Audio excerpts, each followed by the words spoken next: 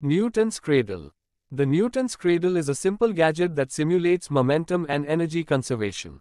It is made up of a succession of metal balls that are strung by threads or wires and swing back and forth when one or more of the balls is pulled back and released.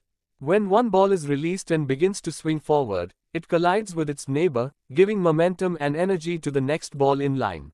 The process is repeated until the energy is expended by friction and other forces, causing the balls to come to a halt. The Newton's cradle has appeared in science presentations, office desk toys, and other novelty goods.